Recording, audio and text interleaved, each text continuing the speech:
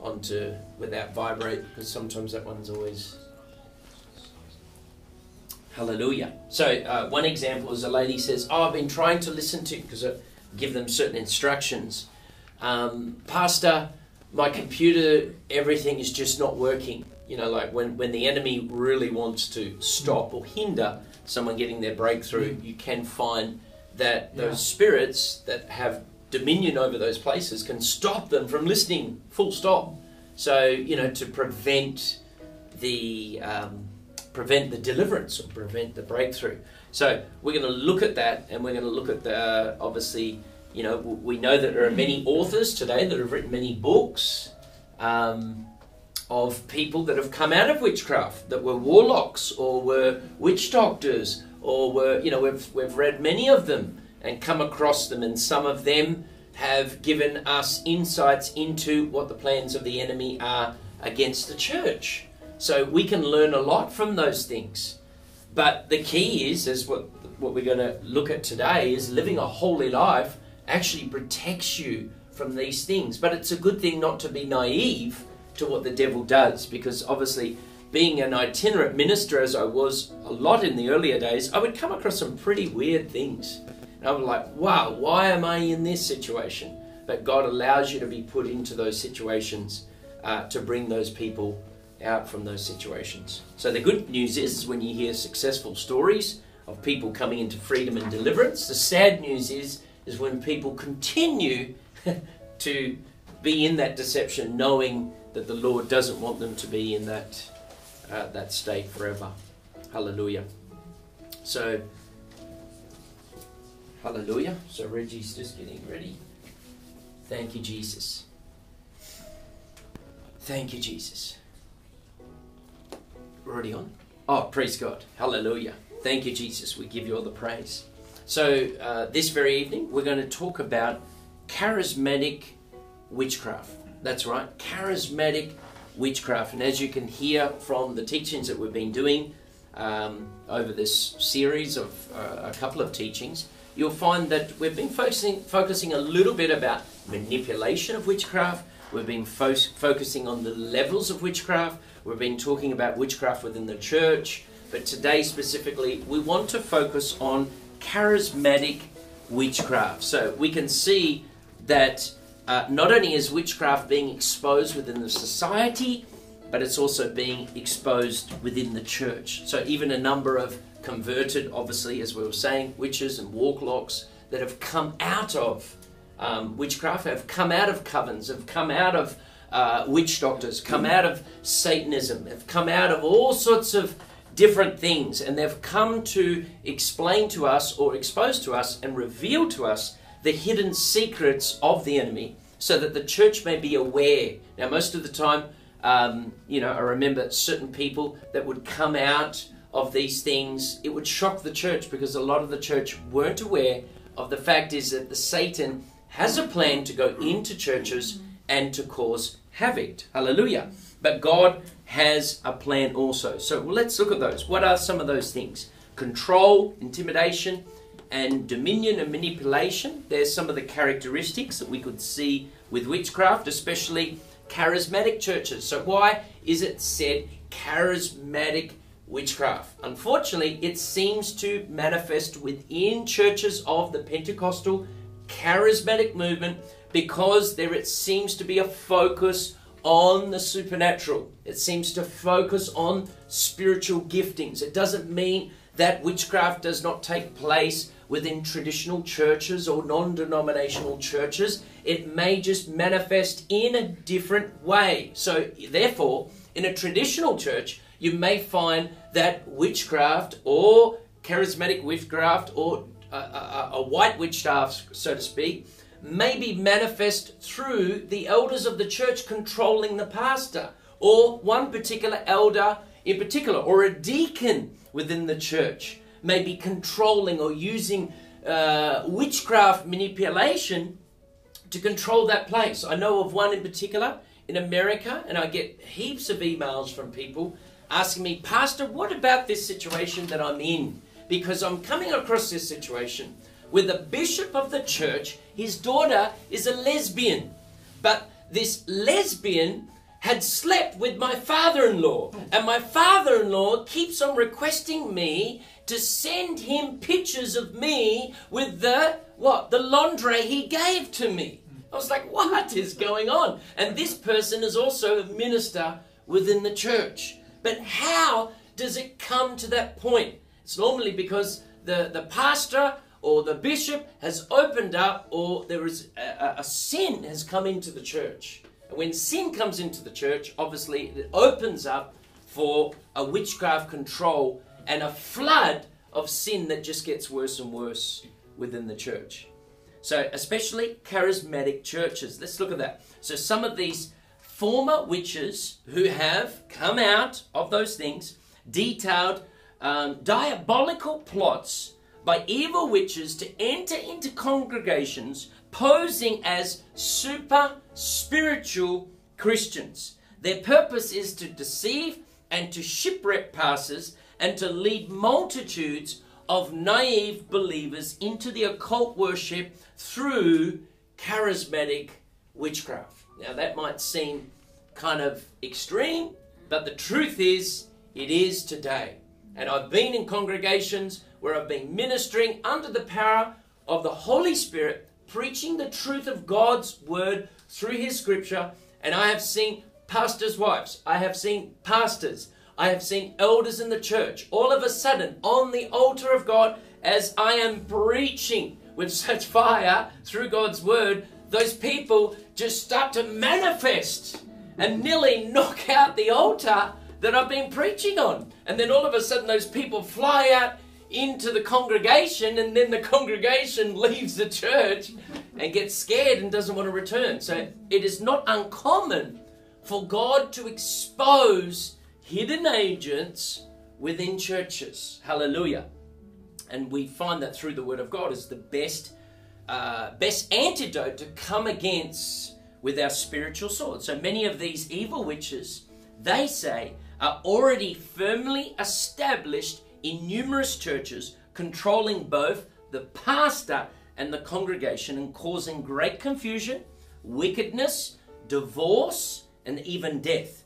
And so, you know, these emails that we're receiving on a daily basis, people are sharing things from every continent you can think of in Europe, in Africa, in South America, in Australia, in Asia, you name it, we are getting things that would shock you to what people are saying is happening within their churches. So, and believe me, many of these messages or these emails that I'm getting, they're very legitimate. They're not just all someone just making these things up. You can see the sincere sincerity from the people that are sharing some of the things that we will briefly talk about today.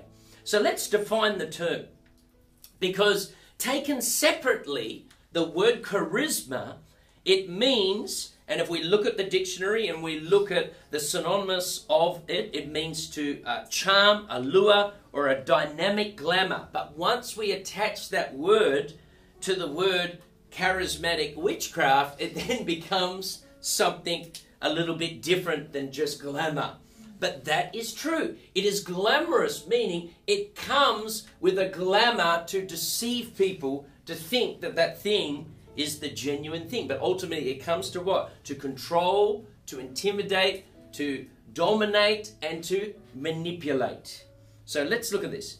So it comes to do those things. So once attached to the word witchcraft, at the highest point of the spectrum, religious charisma bodies of hypnotic mag- magnetism um, to a form of magical suggestion which can be ambushed if practiced by people with a self aggrandized motivation.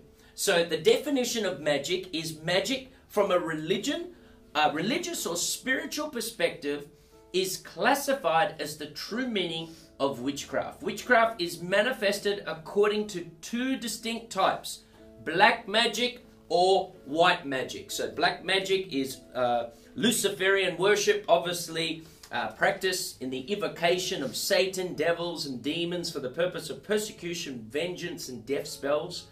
White magic uses the names of the Trinity even Bible verses, and particularly even the Psalms and other religious symbols to invoke prosperity, health, and healing, protection, destiny, purpose, romance, finances, and fertility. So we're seeing in a nutshell, like New Age mysticism, charismatic witchcraft is the practice of white magic. And we're seeing that displayed within many circles, even within certain teachings we're seeing today. In actual fact, is that most of the big churches or the big movements that we would see today, some of the things that have astonished me is how they allow every single person to prophesy. In actual fact, that started off, I heard one of the reports of one of those people that started this movement, and they said that, you know, they sat around this table and they said to each person, What do you think Jesus would say if he just came into the room? So they all suggested what they thought. And then all of us said, Do you realize you all just prophesied? So he started that throughout his whole church. So you've got all these people going around telling you, This is what God's saying, and I feel God saying this and feel God saying that. Despite of the fact that Jeremiah says, Be careful of those that come to you vainly with false prophecies, saying they have prophesied vainly from their hearts, but it is not what God is saying. How many people do we see today going around giving false prophecies, but those things never come to pass? And that is a danger because there are some things we've got to be careful about. One is, I've always said to people, be careful how you prophesy, someone will get pregnant. Be careful that if you prophesy someone that will die. Now, it doesn't mean that God is not telling you these things because I believe God showed me that Nelson Mandela would die that very year when I was in South Africa, and those things came to pass. Then he showed me another figure of someone that would rise up in the country and stir up racial tension. And to this day, just the other day, I saw that very person who is now trying to promote his separate political party. He is coming out with this with this bitterness and racism to stir up to destroy all the whites within South Africa.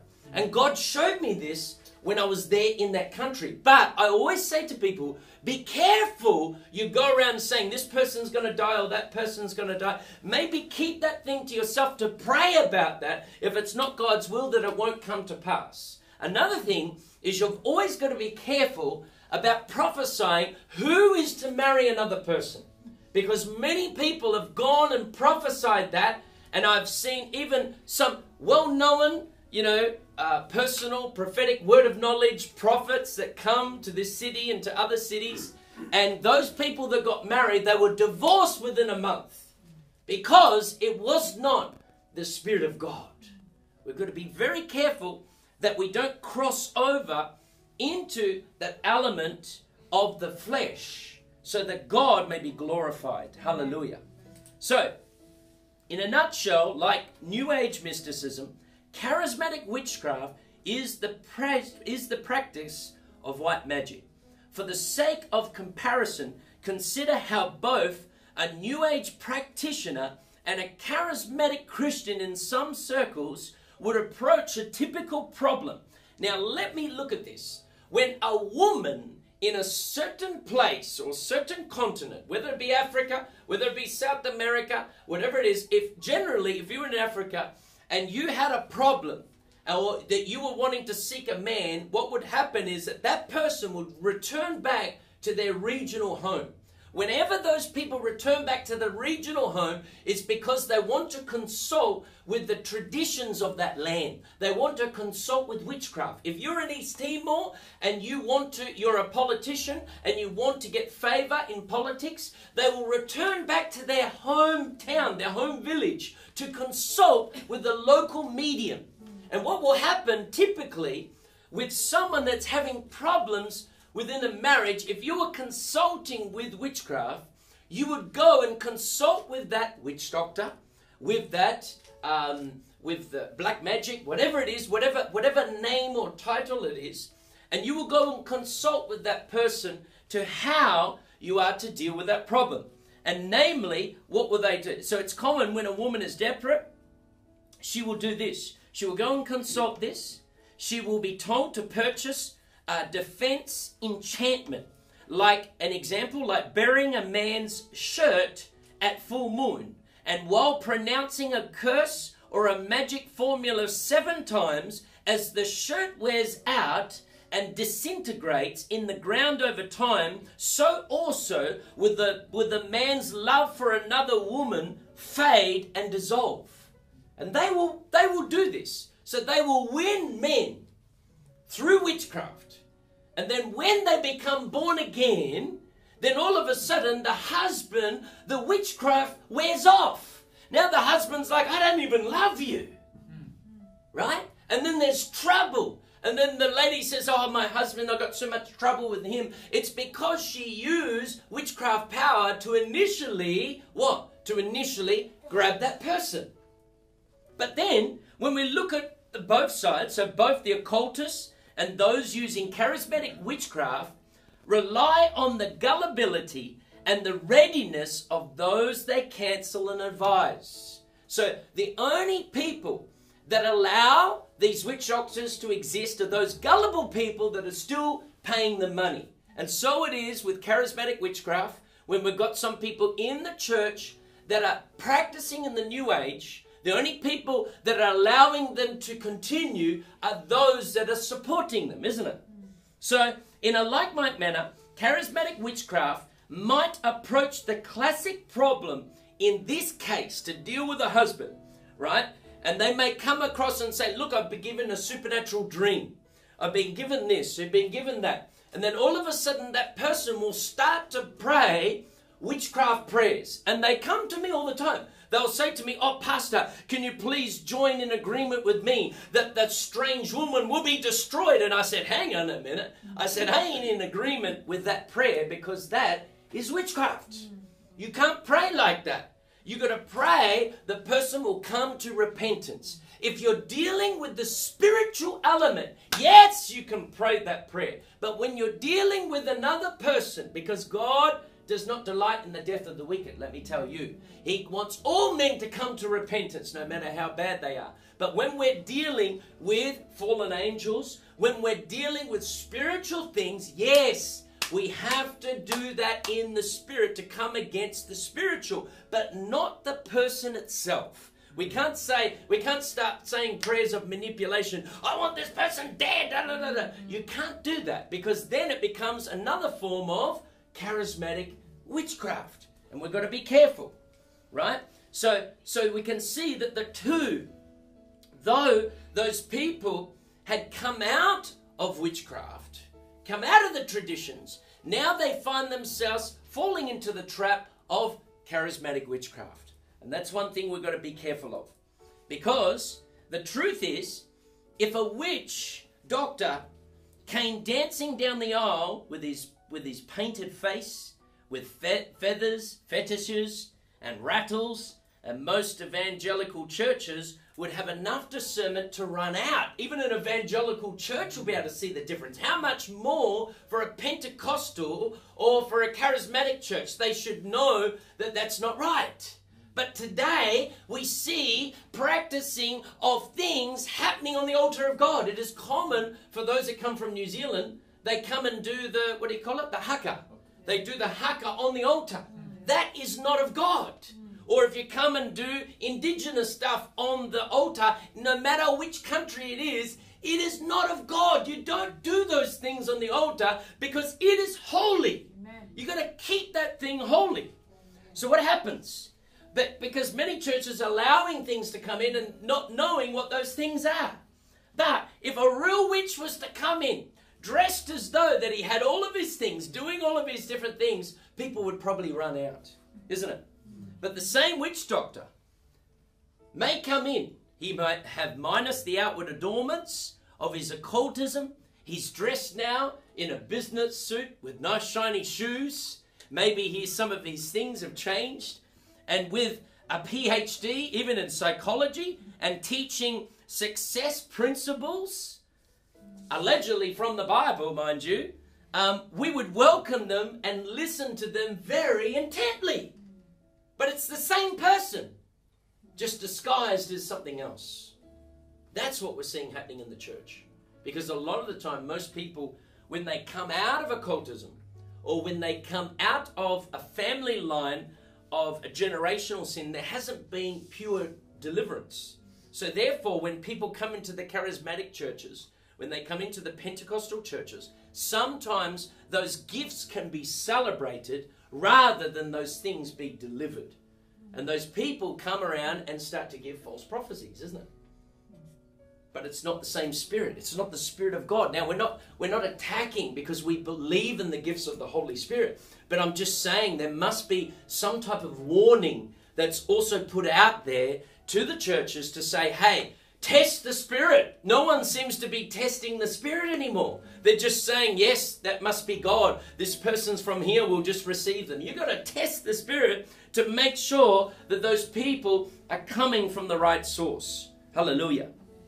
So, one of the world's leading anthropologists and authorities of shamanism, which is a modern word for witchcraft, lists the new names under which basic elements of ancient witchcraft are now widely accepted in t- today's world and church visualization, hypnosis, psych- psychological counseling, positive thinking, positive speaking, confession, and Eastern uh, med- uh, meditation and techniques. A lot of these things are being practiced and allowed in churches, and no one is saying anything about it. And the truth is, all we need is God's word. God's word. When I was preaching God's word, the demons in those elders, the demons in the pastors, the demons in the pastor's wife came out. Not because I was preaching psychology. No demon's going to come out through psychology or me saying you're going to have a good day and you're going to be blessed and just that. No, I've never seen no demon come out like that. But when I preach the word of God in truth, those demons want to come out. Hallelujah. So, saints, we in the body of Christ dare not allow the devil's power to be magnified within the house of God, despite of the claims of the witches or former warlocks that have said, hey, there are witches that have come into your church and you don't even know. They're controlling the congregation, they're controlling the power. But I'm here to tell you, as a believer in Jesus Christ, we should not allow any demon to have any power over us. We are more than conquerors. Mm, mm. His power is limited. And he cannot penetrate a Holy Ghost wall of fire because God is present. Hallelujah. Hallelujah. When the disciples were sent out with power to heal the sick and raise the dead, they became back rejoicing. What did they say? Lord, even the devils are subject unto us through thy name. And he even said to them, Don't rejoice in that, but rejoice your name is written in the book of life. Hallelujah. It is not so much the gifting. Let's not celebrate that. Let's celebrate Jesus Christ. Let's celebrate salvation. Let's celebrate the cross. That's where the power is. The gifts and things will just follow. They shouldn't be something we're seeking first because you can manifest in the nine gifts of the Holy Spirit but still not make heaven. It is better to bear the fruit of God and then allow the gifts to flow as the Holy Spirit suggests. So the only pastor who can fall under the control of the witch is one that indulges in secret sin. Let me tell you, a lot of pastors have fallen because when the anointing increases upon your life, as a Christian, as a believer, it will also, when the anointing increases, it will also bring up anything that's not of God. Anything that's hidden, it will come to the surface. You may think you're going to hide it now, but it will come to the surface. That's why so many pastors have fallen into homosexuality, they've fallen into alcoholism, they've fallen into adultery, they've fallen into pornography, because there was something there and that didn't come to the surface. They didn't bring it to the surface. And you will never grow to where God wants you to. See, that secret sin who is driven, and maybe that pastor is driven by what? Is driven by greed or success, or who has betrayed the Lord through unbelief or neglect. Some of these things can creep in. A man of God who has mortified the deeds of the flesh and wields the sword of the Lord will know the enemy. Hallelujah. He'll be able to spot that enemy. He'll be able to spot it in a person. He'll be able to spot a Jezebel spirit. He'll be able to spot an Ahab spirit. He'll be able to spot charismatic witchcraft easily. And those demons will come out of those people, generally, if they are humble enough. Hallelujah. So he will discern any trap and will stand against the wicked one, as Paul did with the witch in the Philippi. Hallelujah. So here's what happened a slave girl possessed by the devil, that is, a practicing witch with the spirit of divination, sought to infiltrate Paul's ministry. She followed after Paul and his companions, crying out this in Acts 16 17. These men are the servants of the Most High God, which they have come to show the way of salvation. Hallelujah. When you come to a church and you are a true servant of God, let me tell you, you will expose everything. And they will know that you're a true servant of God because you can't be touched. Hallelujah. So, but Paul's spirit was disturbed. Why? Because he discerned that the girl was not converted and that she had no right to touch holy things. Hallelujah. He wasn't going to receive any false prophecy of her. What did he turn around to say? He went after her. Hallelujah. He perceived a trap. So he turned and said to the evil spirit in her, according to Acts 16 18, I command you in the name of Jesus Christ, come out of her. And the demon came out that very same hour. That spirit of divination left because the servant of God saw it as being a trap and that's what charismatic witchcraft is it is a trap to come against us, to hinder, to stop us from coming into the fullness that Christ has for the church. Hallelujah. Let's look at this. Paul was unmoved by the demons and the demon powers. He was led by the Holy Spirit and full of the Word of God. But the Bible tells of one group of supposed ministers that who were? They were attacked literally and overcome by a demon. And they were the seven sons of Sceva. When they tried to cast out the demon out of a man the evil spirit leaped on them tore off their clothes and sent them running into the street in a panic. Hallelujah. All because they didn't know Jesus.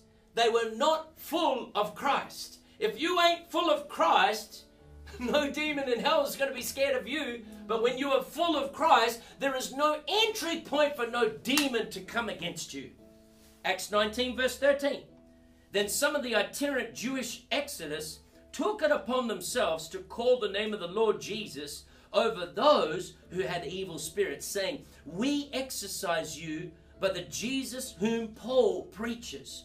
Also, there were seven sons of Sceva, a Jewish chief priest who did so. And the evil spirit answered and said, Jesus I know, Paul I know, but who are you? Then the man in whom the evil spirit was leaped on overpowered them, prevailed against them, so that they fled out of the house naked and wounded. This is because no one both to all the Jews and the Gentiles. And what happened? It brought a multitude to fear God. As a result, those demons caused a revival because they addressed the they knew who really had the authority. It was Paul and Jesus they knew, but they didn't know these servants. And so it is today. There are many servants that are out there that Jesus and the demons do not know. If they know the word of God and they tremble, why do some servants know the word of God but they don't even tremble to continue to be in their sins? No congregation that walks in holiness and the fear of God can be deceived or controlled by witches or evil spirits. Only pleasure, only pleasure, mad, Bible, and holy rejecting churches are open to Satan's attempt to move upon them. When we reject holiness, when we reject righteousness, when we reject God's word, that is when we open ourselves up to the philosophies of this world to come in. And the eloquence of speech above the cross of Jesus Christ. And that's what we have today. whether the word of God is exalted, wherever people separate themselves from wickedness and the world, wherever there is true repentance and obedience to the Holy Ghost, there Jesus will manifest his presence. Hallelujah. A congregation that is bathed in the presence of Jesus doesn't have to scream commands at wicked powers. The very power of Jesus drives out all of that wicked. Hallelujah. Satan and his evil hordes simply cannot coexist with Christ's presence. Hallelujah. We resist the devil to being full of Jesus. When we are full of Jesus, it makes everything easier in ministry. Hallelujah. Because the devil can't stand it. We resist the devil by being full of Jesus, by living and worshiping what? In his presence. Hallelujah. Are there any real churches today?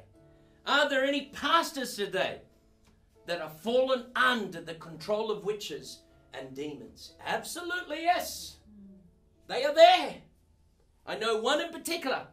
I met a particular pastor from a particular nation, probably not, I'll just say, I'll just leave out the nation completely. Hallelujah. to save the identity. One particular pastor, his father had abused his children. And then I found out that they had gone to the same church for many years. Then I found out that the pastor had been in adulterous relationships and also pedophile relationships within the church. So therefore, he was a good friend with the father of this young pastor who had had his children molested by the father. Then all of a sudden, this this, this young pastor went to proceed to tell me to say that his father left his mother and went after another woman who was much younger. And the pastor stood by him. The pastor stood by him when the, uh, when the accounts happened for the pedophilia against his own grandchildren. And he said, just said to forgive, just to forgive. And then all of a sudden, when the, the father leaves for another younger woman, he then goes over to continue to say, Oh, just forgive, forgive. And then all of a sudden, this pastor then goes and starts his own ministry. And then in a short period of time, he now has left his wife with four children to go after a younger woman. Why? Because that church allowed sin to come in through the pastor. The pastor had opened up a huge floodgate for sin to come into that church and to say it is all right. There's no consequences for your sin. We know God is the judge. But when pastors or ministers openly try to support sin, be careful. Don't ever touch being there trying to encourage divorce. There are many pastors today encouraging people to get a divorce as though it's like getting another uh, packet of Wheaties from the shop. We should not. We should do everything to maintain God's integrity. There are some marriages where I wouldn't encourage you to stay in if you're completely being abused and whatnot. But there is always an opportunity for reconciliation if the, those things of the bridges have not been burnt too far. But there are pastors today, they come to you and tell you that you've got a scratch in your nose, and then they'll tell you to take your nose off. Without even giving you any wisdom and saying it's only a scratch, you don't need to do that. Let's look at another one. I heard of a one particular large church was wholly given over to Satan. How can that be? A Pentecostal church given wholly over to Satan. How can that happen?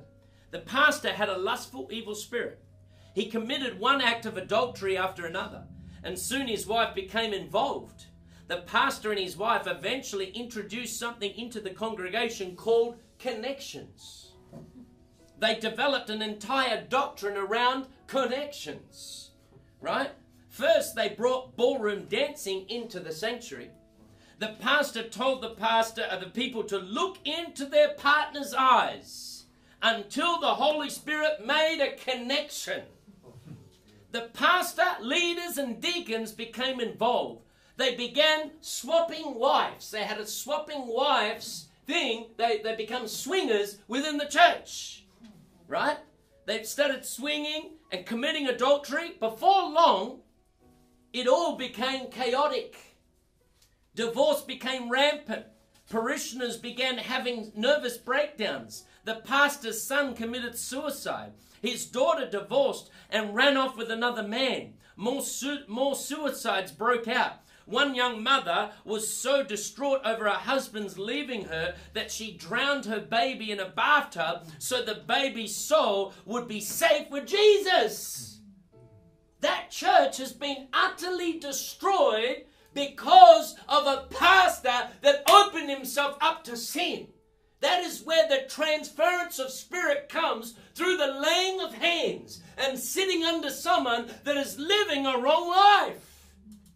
You can't live secret lives, they always come to the surface. The church has been utterly destroyed. It is embroiled today in numerous lawsuits, all because of the unbridled lust of a backslidden pastor. The one man that one man full of Satan opened up his entire flock of demonic powers. What if someone had discernment or the pastor realized that he could go and get some help? We're seeing that problem today that pastors are not seeking to get help, but they are staying in those hidden sins. Let me tell you, if you stay in your hidden sin, it will come and bite you one day. It will come and bite you. Another story. When I was in Brazil, there was a particular pastor. He was going around giving pro- false prophecies to a lot of people, telling people that they would marry this one and they would marry this one. They're all marrying the wrong people. And then when problems come in the marriage, then you wonder why. Because someone has given false prophecies to say, you're to marry this one, you're to marry that one. We cannot manipulate the things of God. Another story. Another pastor who thought it was good that he should have two wives and he thought he could hide the second wife until all things got exposed. You can't be with a servant of righteousness without things getting exposed. They will come to you, they will come to me in a dream, it will come to me in whatever. It always gets exposed. I don't want it, I don't really ask for it, but God puts you there so that you can bring right order. That's what God does. He will bring His servants to always give a warning to each of us when we've gone too far. Hallelujah. Yet this message has to do with all kinds of witchcraft that are even more dangerous than that. And it is it is a lot more subtle of some of the things that we're going to talk about. It is brought into the church not by evil, not just by evil shepherds, not just by witches alone, but the multitudes of Christians who don't know they are under the spell of witchcraft. And that generally is disobedience to the Word of God.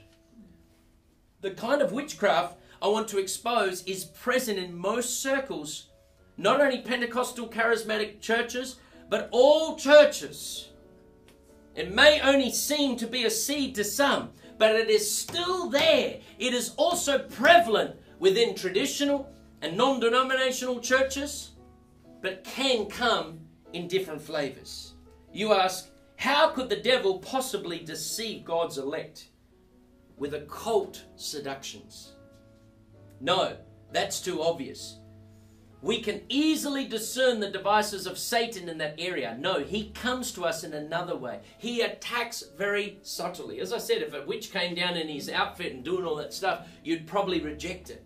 So would you if the devil came into your house and said, I'm going to destroy your family. You would quickly start throwing out whatever you need to throw out of your house or do whatever to get in line with the God. But the devil doesn't do that. He comes in subtly. To some, he might come in that way because they've opened up the doors to extreme things. But most of the time, he will come in subtly. So, what is charismatic witchcraft? Well, let's continue to look at some other examples. It could be an intercessor praying that the pastor would take the church in a different direction. That is common. It's a young woman praying that a certain man would have feelings for her. When that relationship is not supposed to be together. You can't manipulate those things. I get those emails all the time. It could be an individual who gives parking lots prophecies. What I mean by parking lot prophecies is they wait to the end of church and they go out and start giving false prophecies to people. And all it does is bring confusion. Or laying of hands on another with the intent of what? Forcing a desire on them through spiritual means. For this reason, many ministers have shied away from teaching the saints the true word of God concerning spiritual gifting. Why? Because they don't want to deal with charismatic witchcraft in their churches. And, then there's the other extreme of churches, they just let anything happen. and you've got so many false prophecies. There's one particular um, apologist who was a Muslim converted Christian, and he went to one particular church, and so many people had prophesied over him that he would be healed. He never got healed. He died. So what, what's wrong? It was false prophecy, wasn't it? It was false prophecy. They prophesied, God told me God would heal you. It's better not to say it if you're not sure, unless God specifically showed it. And if it didn't come to pass, then it shows that it was false. So, we're going to expose charismatic witchcraft. Yep. I'm not afraid to deal with it, and a, a, lot of people are because they don't want to upset someone. But I think it's important for us to look into. Somebody may say in their heart, Pastor, you're opening up a can of worms. Well, that's all right. I don't mind. Bring it on. Right? You better believe. And every worm must get exposed. Because if it doesn't, then we'll have blood on our hands. I did not come out of this world, what? To be trapped inside of witchcraft within the church. We didn't come out of this world to come to Christ, to put up with compromise in the church. I don't know about you, but I didn't forsake this whole world to come and follow Jesus Christ, to see this type of behavior going on in his church. And I'm sure he would turn a few tables if he was to return back with some of the things that we're seeing within the church today. Is it a problem? Yes, it is a problem. Just like adultery or fornication in the church, it requires deliverance and the teaching of the Word of God to destroy it. Hallelujah. It's destroying people. It's not people, it's not a person, it's a problem. It's not people, it's not a person, it is a problem that we're facing here. We're not pointing names, we're not pointing at any particular ministries, but we're saying that, hey, it is prevalent within the church today. We have no right to control all of this. God gave us a free will, and even He will not try to control us. Therefore, we enter into agreement with Satan and his demons when we attempt to control others and we are practicing witchcraft. We don't want to do that. I can't control others. People will do what they want to do, but they, at the same time, they must be warned, isn't it?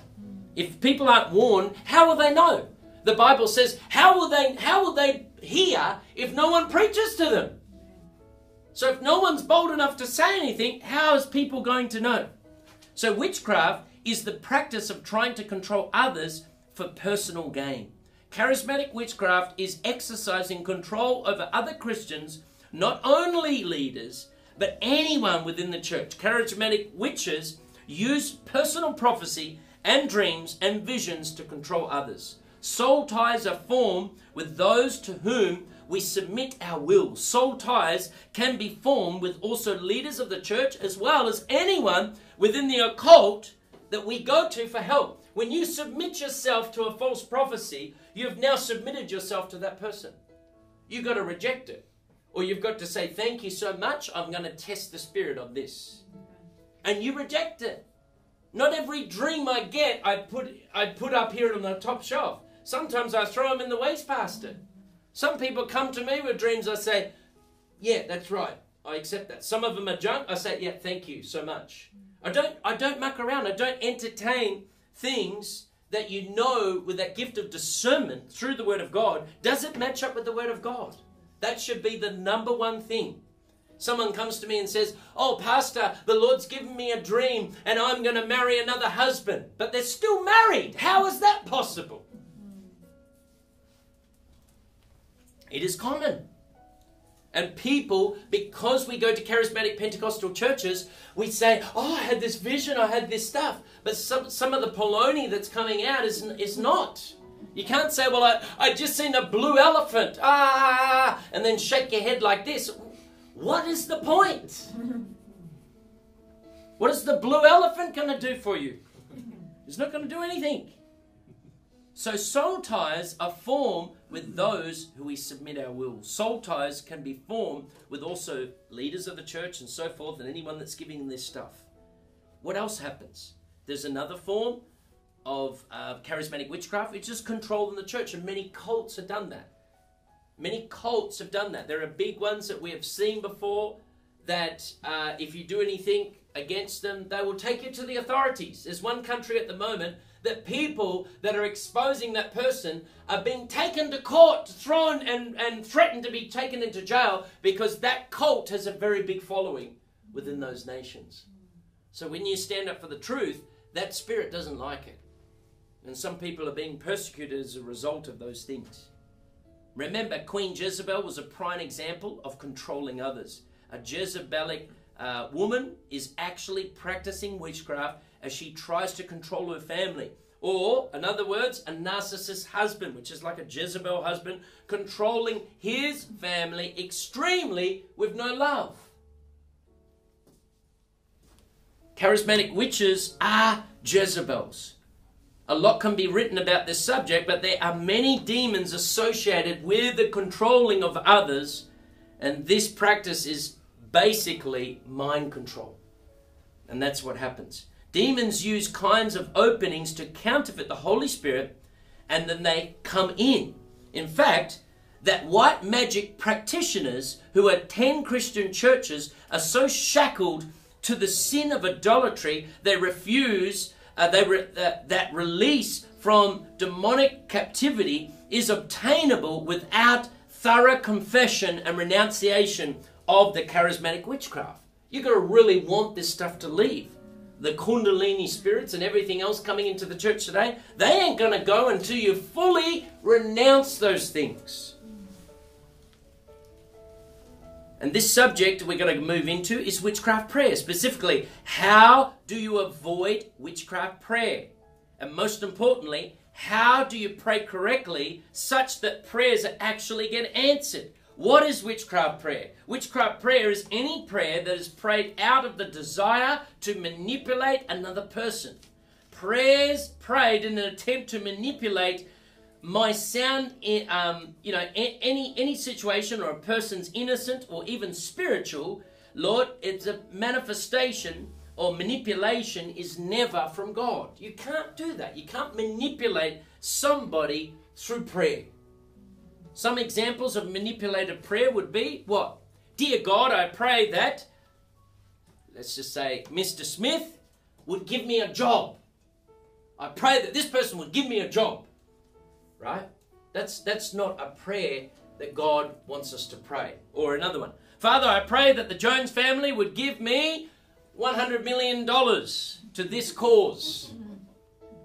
They know that they have to give it in Jesus' name. That's not that's not the right prayer. Or, oh, Lord, please make my husband start treating me right. That's not the type of prayer that we need to pray. Or, Lord, I want to win the lotto this weekend. How many people have heard say that?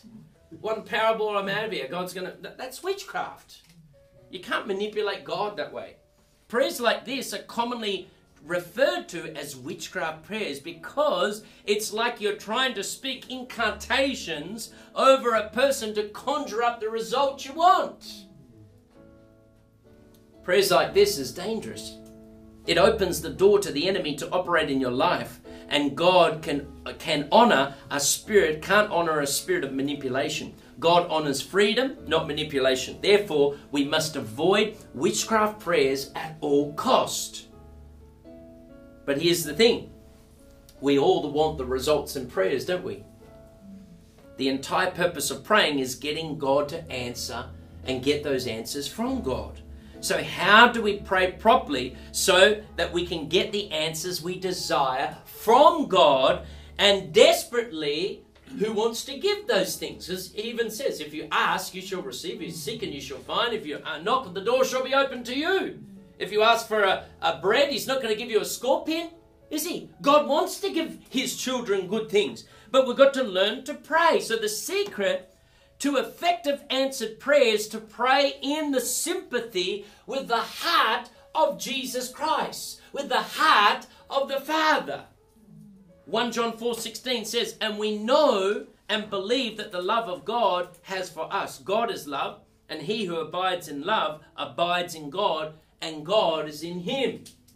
Hallelujah. When you pray from the heart of compassion and love, God will answer. 2 Corinthians 1 3 says, Blessed be God our Father of our Lord Jesus Christ, the Father of mercies, and God of all comfort, who comforts us in all of our tribulations, that we may be able to comfort those who are in, in any trouble with the comfort with which ourselves are comforted. Hallelujah. For as the sufferings of Christ abound in us, so our consolation also abounds through Christ. When you pray with a heart of love, with a heart of compassion, God will bring those things to pass. Instead of praying just because we want something, we must pray for the things Jesus wants. We must look at the heart of Jesus for the person or the situation and pray for God's will into that situation and for that person. Hallelujah. Let me give an example. If there was disunity within a church, we would pray for unity because Christ brought and paid for unity in his body when all of his bones were ripped out of their joints. Now, no bones were broken on Jesus that fulfills scriptures, but it doesn't say his ligaments weren't pulled. When they pulled his hands, his ligaments were broken. He became broken for us. Hallelujah. That's why it says in Psalm 22 14, I am poured out like water, and all my bones out are out of joint. My heart is like wax. It was it has melted within me. And then we got Psalm 133, verse 1 to 3. Behold, how good and how pleasant it is for brethren to dwell in unity. It is like the precious oil upon the head, running down of the beard of the beard of Aaron, running down on the edge of his garment. It is like the dew of Hermon descending upon the mountains of Zion. For there the Lord commands a blessing like forevermore. God always commands a blessing for unity when brethren dwell in unity. Hallelujah. If a person needed salvation, we pray for their salvation so that the inheritance of Christ would be fully realized. Why? We pray through Scripture. Isaiah 53, verse 11. He shall see the labor of his soul and be satisfied by his knowledge. My righteous servant shall justify many, for he shall bear their iniquities. Jesus became one to bring many unto salvation. Psalm 51 12, verse 13. Restore to me the joy of your salvation and uphold me by your generous spirit. Then I will teach transgressors your ways, and sinners shall be converted to you. Amen.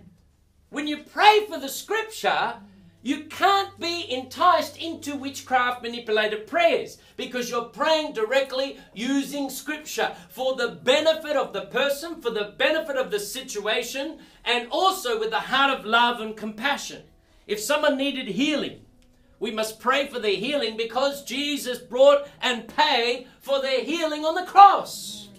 That's why Isaiah 53, verse 5. But he was wounded for our transgressions, he was bruised for our iniquities, the chastisement for our peace was upon him, and by his stripes we are healed. That's why when we pray over people, we pray scriptures.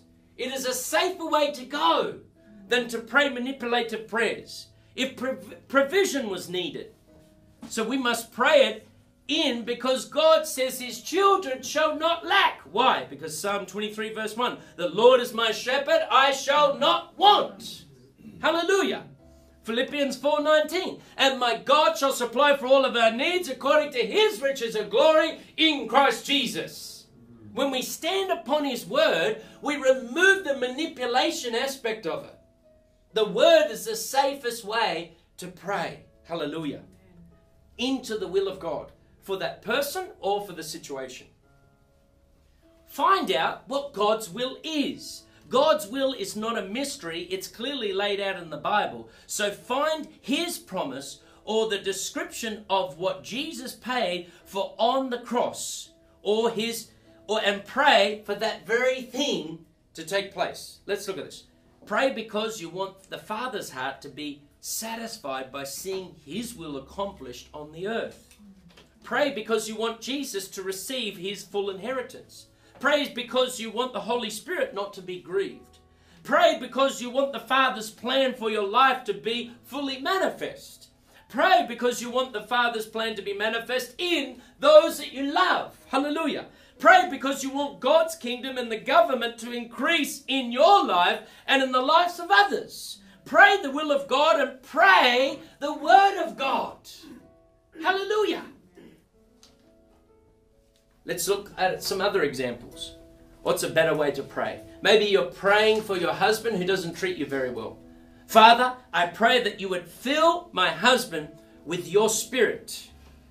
Help him love righteousness and hate sin. Let him love like you love. I pray that you would give him all wisdom and revelation in the knowledge of you. Let him see you, love you, honor you in everything. Amen. Imagine the prodigal son. He said, You know what? I just want my whole inheritance now. The father couldn't say to him, No, don't go. He couldn't manipulate him, he couldn't control him. He had to give what he requested. He had to go. He had to spurge all of his money. It had to come to the point that he was even eating with the pigs. The father could not change, could not manipulate, could not do anything to bring him home. All he could say was, I pray my son will come to know you more. Isn't it? That's the correct prayer. You can't manipulate God, but God Himself is in the business of humbling us. He will humble that person and bring them back to Him. We don't have to say, Lord, I pray you just humble them now. We don't say that. We say, Lord, I pray that they will come to know you for that person and for that circumstance with the heart of love. Otherwise, it becomes like witchcraft, right? Or maybe you need a job. Father, I pray that you would direct my steps and bring me into the job that you have for me. If this is the one, then Father, grant me your favor.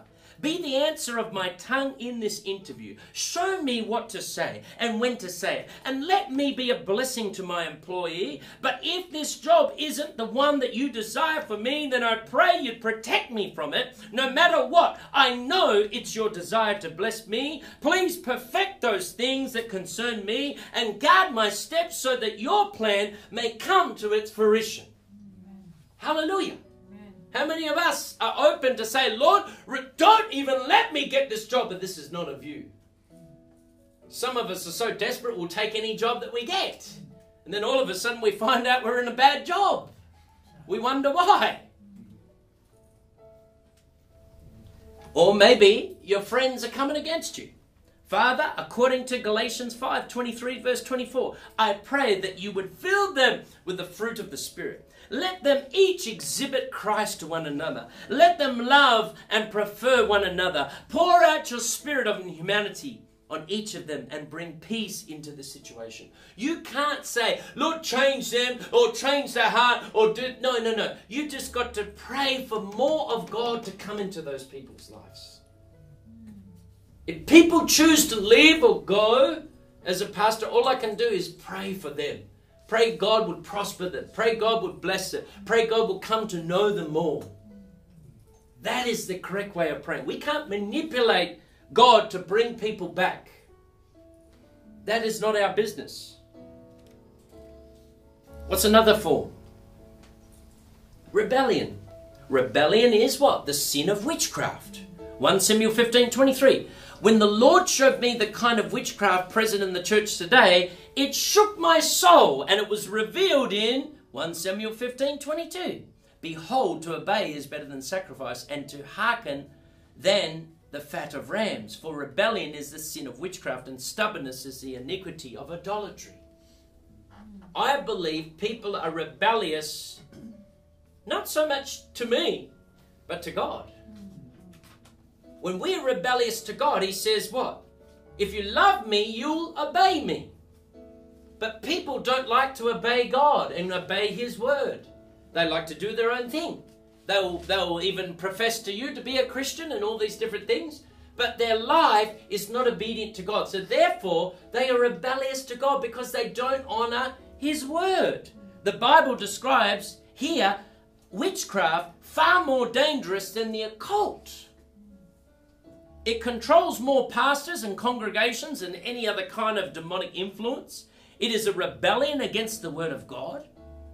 Don't be quick to pick up and relax and think, well, this message has got nothing to do with me, because I think that every single one of us, this we can take this on board.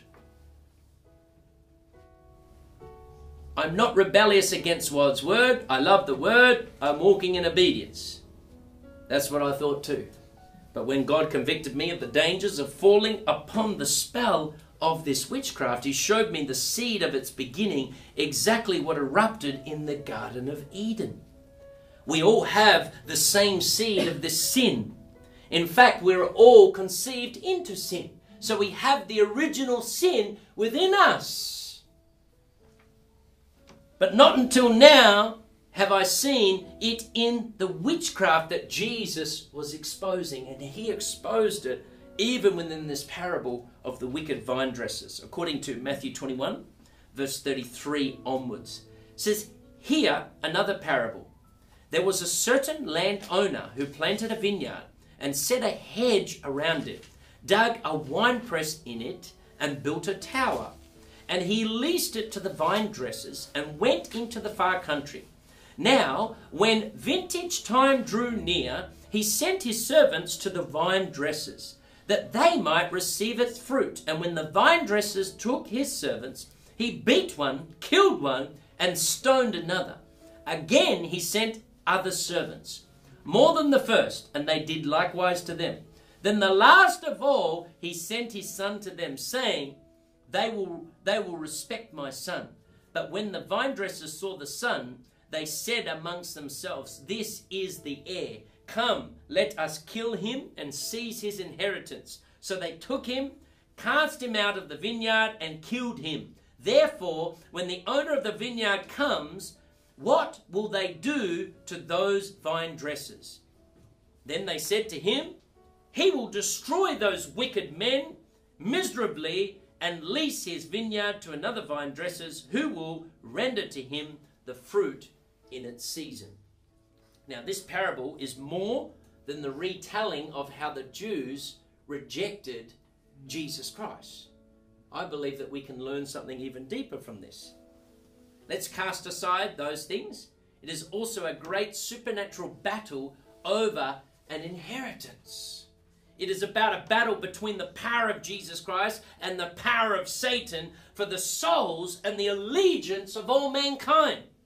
It is about who is going to rule and reign in the hearts of God's chosen and beloved. You're either under the power of Jesus Christ or you're under the influence of Satan. You see, this parable is about how the people of God can become bewitched by the devil and end up totally possessed by an antichrist spirit. Christ was, ta- was, was talking here of the most powerful form of witchcraft, which is rebellion against the truth. Here is the key to this parable. When we look at verse 38, it says, But when the vine dressers saw the son, they said amongst themselves, This is the heir, come let us kill him and seize his inheritance. That is the devil speaking. Let us create rebellion against the Son. Let us crucify him and we will take control. It is true that when the Pharisees heard this parable, according to verse 45, it says they perceive that he spoke of them. Let's look at uh, Hebrews 6, verse 5. But Jesus is also speaking to the church because Hebrews 6 5 says we find a people who have tasted the good word of God and the powers of the word to come, but they have rejected. The Bible goes on to say that they have placed him onto the cross a second time. There is no repentance for those that have tasted this good word.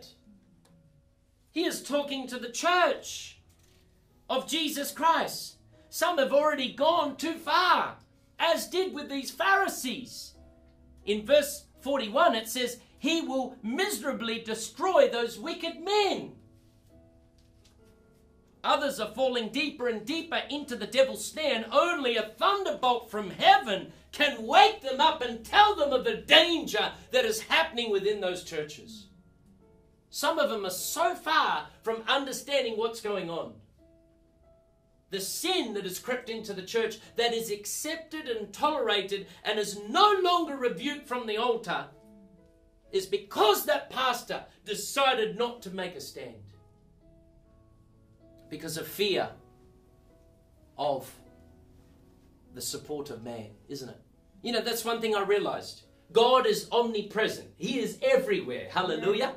But God and man are two different things. Actually, I'm very limited.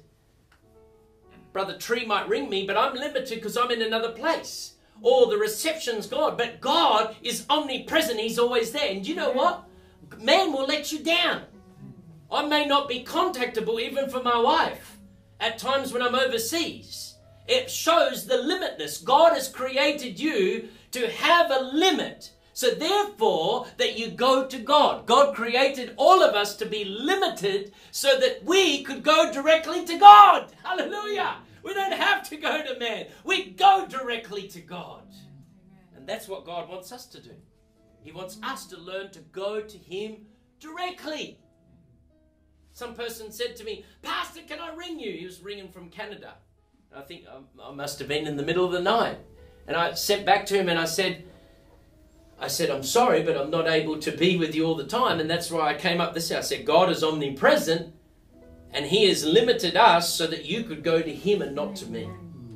He didn't create me to be a 24 7 um, uh, God. I'm not God. All I'm there is to help you connect you to God. When you listen to the prayers, it's to get you connected to God, not to me, to God. He is the one that's omnipresent. He created me to have limitations. He created you to have limitations. But there is no limitations with God. He is everywhere. He's omnipresent. Hallelujah. Cursed is the man that puts their trust in man. But God, He will never let us down. Hallelujah. So let's look at this. Jesus, you simply cannot go on with roots of bitterness. You cannot go on green with envy and jealousy. You cannot go on wounded or hurt or blaming others. You cannot go on disregarding the clear hand of God unless you have lost your reverence for Jesus Christ? Have you lost your reverence for Jesus Christ? Otherwise, it is danger. In actual fact, there's probably no possibility of you coming back. That's what the Bible says. For them to repent, it's impossible. Jesus is standing at your heart's door and he's standing there knocking even right now. He is saying, The Father sent me. Show me your fruit, your obedience. You were planted in good soil. You have had time to grow. What kind of harvest do you have for me? That's what God is going to say to each of us. Reverence for Jesus is not a feeling, it is not words. Respect and reverence mean doing what He said, it means doing His word laying aside all the hurts and putting yourself completely in His hands. Saying, God, you're testing me, and you're going to require, am I going to bear that fruit? Because the servants are coming, they're being sent. The prophets are coming, the pastors are coming, the visitor pastor, wherever it is, wherever you are, whatever place you're in. Maybe it's YouTube. YouTube people are coming to you, preaching the word of God Hallelujah. If you put down this message and still you're clinging on to your wounds, holding on to your grudges, or justifying your bitterness, you will not only disrespect Christ, but you will also put him to an open shame and crucifixion once again. There is hope for the rebellious. Hallelujah. The Bible says, Beloved, according to Psalm 107, verse 9 to 14, for he satisfies the longing soul and fills the hungry soul with goodness. Such as sit in darkness and in the shadow of death, being bound in affliction and iron, because they've rebelled against the words of God and condemned the counsel of the Most High. Therefore, he built or brought down their heart with labor. They fell down, and there was none to help. Then they cried unto the Lord in their trouble, and he saved them from their distresses. He brought them out of darkness and the shadow of death and broke their bands of, of under.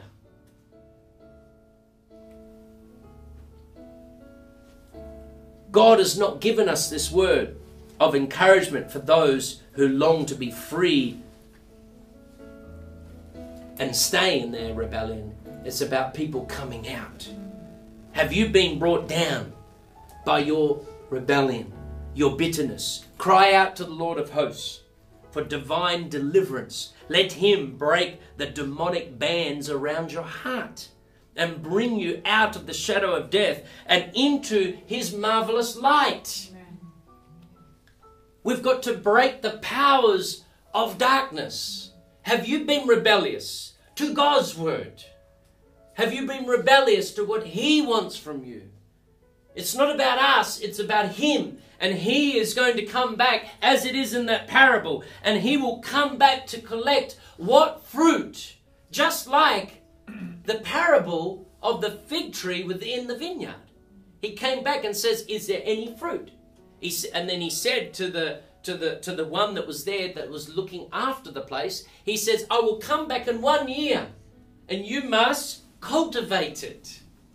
Sometimes we are placed in places where we receive such messages.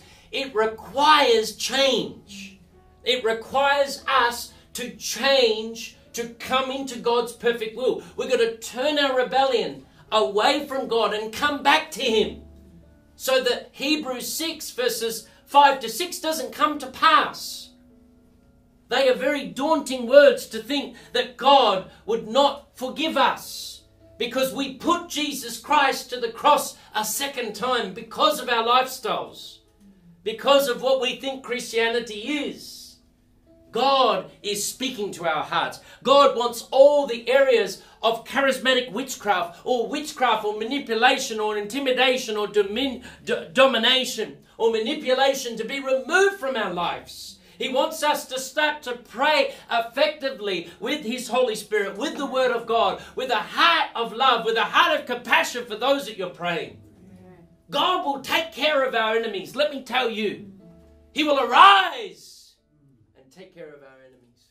All we need to do is keep on walking, keep on preaching, keep on telling the truth, because only the truth can set you free. Only the Word of God preached in season can set you free. That's what delivers demons. That's what brings down great men and brings them down weeping onto the floor. It is the preaching we need today is turn back to God. Turn away from your rebellion. Turn away from your witchcraft and come back to Jesus Christ. Commit your life to him that he may have his way.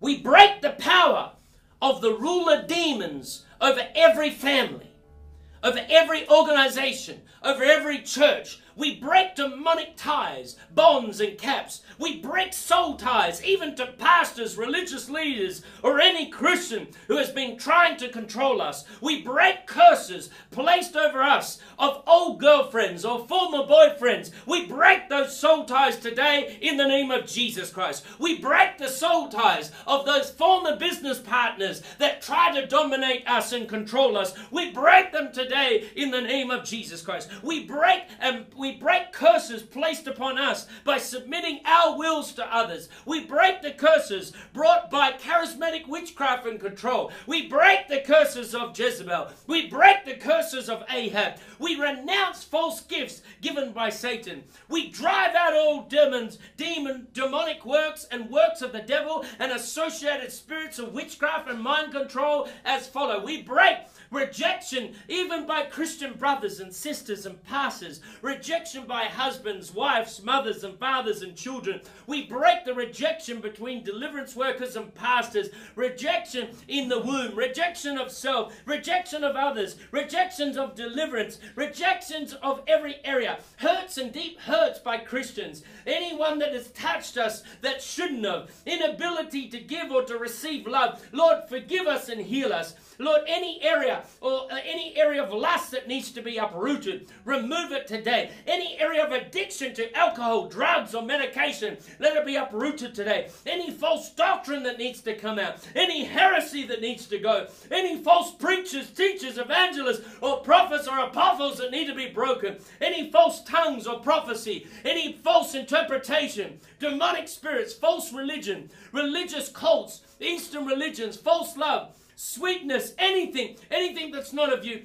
false positive thinking, Lord, any soulish faith, any false charismatic movements, any false partial gospel, any false shaking, any false quirking, any false crying, any false putting on a show, any false cooperating, any false discipleship, any false prosperity, any false love of money, any false stinginess, any false think and grow rich, any false money by faith, any false charismatic witchcraft, witches and warlocks, domination, any control, manipulation or doctrinalization. Lord, we pray any mind control, let it be broken. Any blanking in our minds, let it be broken. Any blocking in our minds, let it be broken. Any binding that needs to be bound, let it be bound. Any confusion, let it be removed. Any witchcraft, any occult, any antichrist spirits, any familiar spirits, any spirits of divination, any spirits of Jezebel, Ahab, or passivity, any distraction of family or any areas of our life, any lukewarm lukewarmness, let it be removed. Any commanding angels for riches, let it be removed. Any imagery, any, any civilization or, or visualization, any greed, any covetousness, any spirit of mammon that's still controlling us, any financial poverty or workers or pastors or churches or any different gospel, any another Jesus that has come into our life, any apostate religion or anything that has come against the elect, any spirit of error, any spirit of this world, any aborted spirit, any soul ties and curses, any controlling spirits, any ruler demons over workers or pastors or churches or families, anything of despair, or defeat or hopelessness, any strife or contentions or bickering or quarreling among brethren, any inability to work with other Christians, denominational spirits, separation, or any infighting, any spiritual pride, ego, or vanity, or preeminence, any haughtiness, any self idolatry. We are God gods or anything that being pro- or programmed within our lives, any worship of man or fear of man, any Mormonism, any, any Jehovah Witnessing, anything, any bloodline religions, any Catholicism, any occult, any masonry, any religious demons, any evil eyes, any third eyes, any ma- messianic eye, and all the seeing eye, let it be broken today over our lives. Any Christian fantasy, falseness, false love, any play acting, theatrics, affection, or any things that are not of you, any hypnosis, or any hypocrisy, or lying, deceit, deception, delusion, or compromise. We break it today in the name of Jesus Christ, we pray. Amen. So, Lord, we just thank you that each person has listened today. Lord, we want to come back to you from our rebellion. Maybe we've rebelled against you. Maybe we've said at the beginning, Yes, Lord, we, we obey your word. Mm. But maybe there are areas that we have been disobedient, and that is rebellion. We want to repent of that today. So, Lord, we pray today in the name of Jesus. I just want you to repeat this prayer. If you feel it in your heart, just say, Heavenly Father, tonight we repent of every sin of rebellion or any hidden sin that would allow the devil or witchcraft to have any hold over my life. I thank you for sending your Son, Jesus Christ, who died for me. And three days later, he rose from the dead, defeating sin, defeating death. We thank you. I receive Jesus today as my Lord, my God, as my personal Savior. And from today, And we are born again. Fill us with your Holy Spirit from this day forth that we will continue onto paths of righteousness for your name's sake. In Jesus' mighty name. Amen. and amen. Thank you, Jesus.